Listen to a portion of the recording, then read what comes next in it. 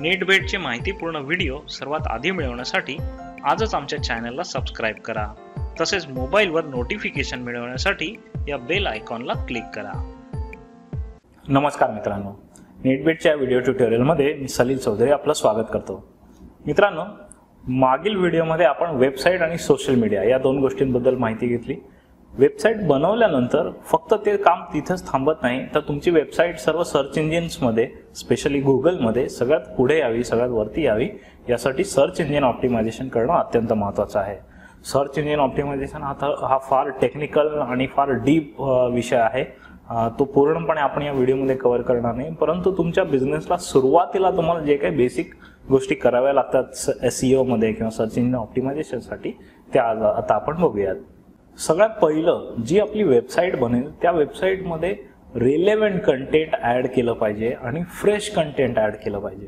बरेच लोक ही चूक करतात की एकदा वेब डिझायनरकडून वेबसाईट बनवून घेतली की पुन्हा त्याच्याकडे वर्षानुवर्ष बघत नाही त्यामध्ये काही चेंजेस करत नाही. जर तुमचं कंटेंट फ्रेश नसेल तर गुगल तुमच्या साईटची रँकिंग कमी करत असतं. त्यामुळे नेहमी तुमच्या साईटवर नवीन काहीतरी कंटेंट आलं पाहिजे. आता हे नवीन कंटेंट तुम्ही कुठून आणणार? तर तुमच्या वेबसाईट सोबतच तुम्हाला एक ब्लॉग बनवून त्यामध्ये तुमच्या इंडस्ट्रीशी संबंधित तुमच्या प्रॉडक्टशी संबंधित तुमचा जो बिझनेस आहे त्याशी संबंधित ब्लॉग्स लिहावे लागतील आणि चांगलं कंटेंट लिहावं लागेल जे वाचण्यासाठी लोक येतील. त्यासाठी सर्वप्रथम तुमच्या इंडस्ट्रीमधल्या ज्या वेबसाईट्स आहेत त्या वेबसाईट स्टडी करा. त्यांनी कशा प्रकारे मॅटर लिहिलेलं आहे त्यांचे ब्लॉग्स काय लिहित आहेत त्यांच्या मध्ये कोणते शब्द वापरले गेलेले आहेत ते शब्द नीट लक्षात घेऊन ते शब्द त्याच्या अराउंड तशा प्रकारच्या विषयांवर ब्लॉग्स अशा प्रकारचं कंटेंट तुमच्या साईटमध्ये पूर्णपणे भरा साईट जेवढी तुम्ही चांगली कंटेंटने भराल तेवढं तुमचं सर्च इंजिन ऑप्टिमायझेशन चांगलं होईल आणि तेवढं तुमचं रँकिंग वाढू लागेल. तेव्हा अवश्य चांगलं कंटेंट लिहा. दुसरी गोष्ट म्हणजे बॅकलिंक्स बॅकलिक्स म्हणजे तुमच्या वेबसाईटची लिंक ही जास्तीत जास्त इतर वेबसाईट्सपर्यंत पोहोचली पाहिजे. त्यांच्या वेबसाईटवरती लिहिली गेली पाहिजे. त्यासाठी विविध ब्लॉगर्स आहेत. त्यांच्याशी टायअप करा. त्यांना त्यांच्या ब्लॉगसाठी तुम्ही पोस्ट लिहू शकता आणि खाली तुमची लिंक देऊ शकता. सोशल मीडिया प्रोफाईल बनवा. तिथे तुमच्या वेबसाईटची लिंक द्या. बऱ्याचशा बिझनेस डिरेक्टरीज असतात. तशा डिरेक्टरीजमध्ये तुमच्या बिझनेसची नोंद करा. जसं जस्ट डायल आहे. इंडिया मार्ट आहे. अशा जर तुम्ही शोधून काढल्यात तर शंभर एक डिरेक्टरी निघतील. त्या प्रत्येक डिरेक्टरीमध्ये तुमच्या बिझनेसचं प्रोफाईल लिहा तुमचे लिंक लिहा. तुमच्या वेबसाईटची लिंक जेवढी इतर वेबसाईट्सवर दिसेल तेवढं तुमचं बॅक लिंकिंग वाढेल आणि तेवढं तुमचं सर्च इंजिन ऑप्टिमायझेशन इम्प्रूव्ह होईल. सो या दोन सोप्या आणि करता येण्यासारख्या गोष्टी आहेत ज्या तुम्ही अवश्य करा. आणि तिसरी गोष्ट म्हणजे हे करून थांबू नका. So search engine optimization is an ongoing process ती थांबत नाही कधीच.